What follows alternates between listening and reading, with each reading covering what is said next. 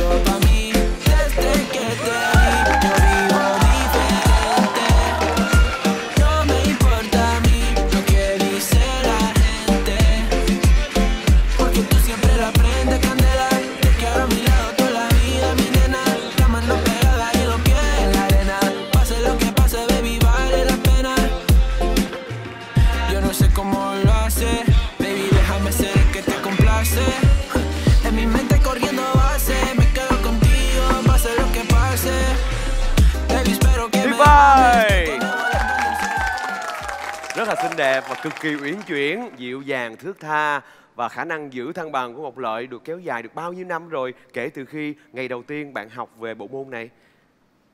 Dạ tính à, tới ngày mà Ngọc Lợi à, biểu diễn cho tới ngày hôm nay là được tròn 6 năm. Đó, 6 năm. Thâm hậu lắm mọi người ơi Và thậm chí là khối lượng những vật thể được Ngọc Lợi giữ thăng bằng Không nhẹ như là chiếc ghế hồi nãy đâu Còn nặng hơn rất là nhiều nữa Bảo Cường à, hỏi Ngọc Lợi là hồi đó giờ mình diễn có cái nào mà nó cản trở mình khó khăn á? Cái cản trở khó nhất của mình là cái gì?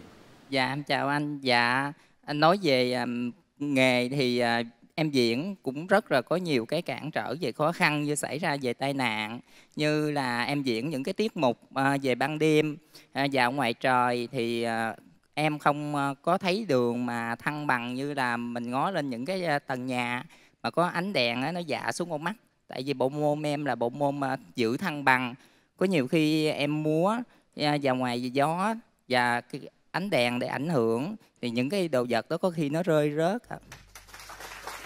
Thông thường á, theo thủ tục thì đến cái đoạn này sẽ là những câu hỏi để tìm hiểu về sở trường, về tài năng của bạn. Nhưng không ngờ lại là một cuộc trò chuyện để hỏi thăm hỏi thăm nhau.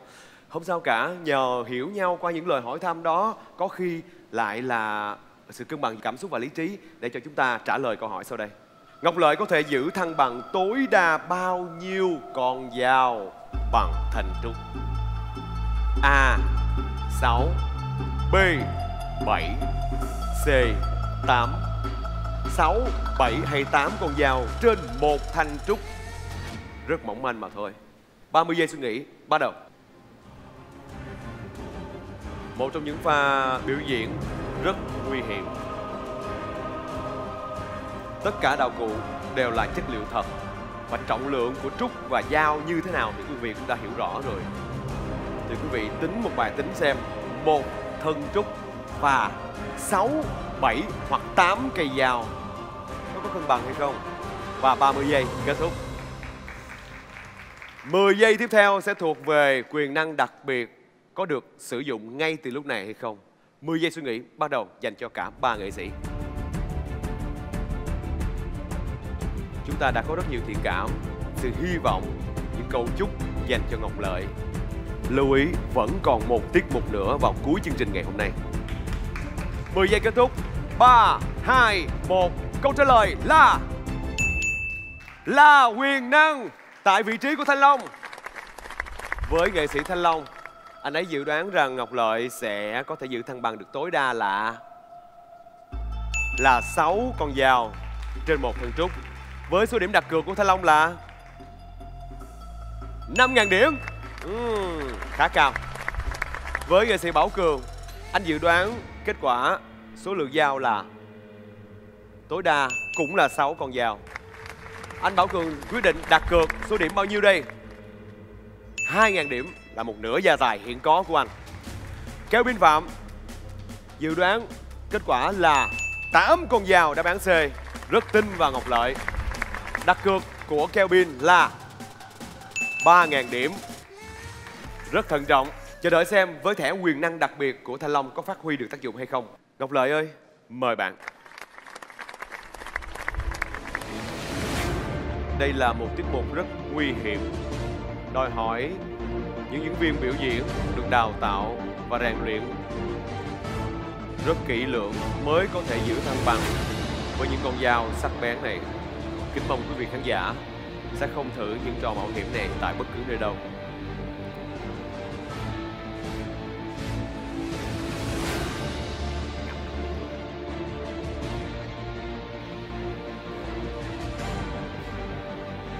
Và quý vị thấy được rằng hướng đặt của những con dao này là cực kỳ nguy hiểm cho người biểu diễn.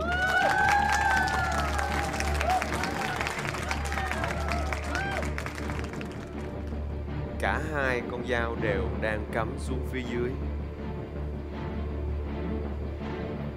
Ngọc Lợi vẫn đang rất uyển chuyển và linh hoạt trong từng cử động của mình. Đầu tiên sẽ là phần làm nóng cơ thể của mình với hai con dao.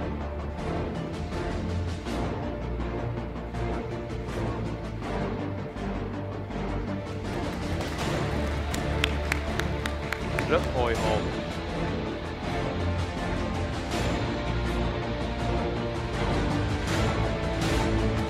Tuyệt vời!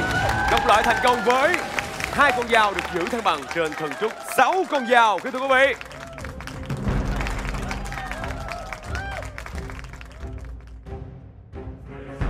Đây, một mức độ nâng cấp cao hơn, khó hơn hai con dao với khối lượng đã nặng rồi, bây giờ sẽ là sáu con dao chắc chắn khối lượng đã tăng lên gấp 3 so với ban đầu.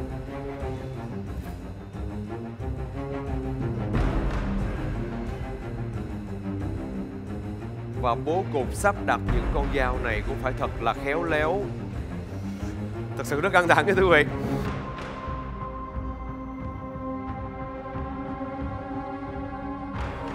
Rất mong Ngọc Lợi được thành công thật bình tĩnh.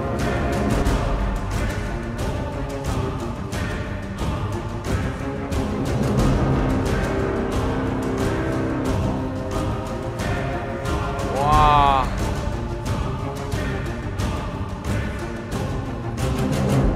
Kính thưa quý vị, Đang có bốn con dao được hướng thẳng xuống phía dưới. Hai con dao còn lại sẽ là bệ đỡ duy nhất mà thôi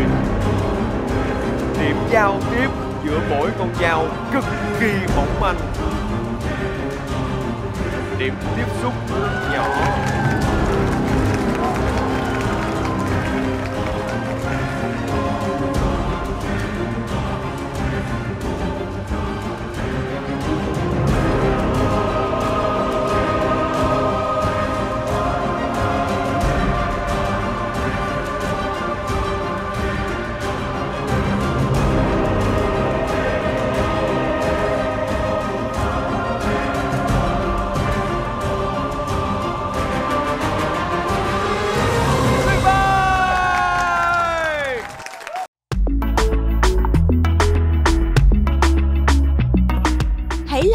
Comment, subscribe kênh để xem thêm những video mới nhất nhé.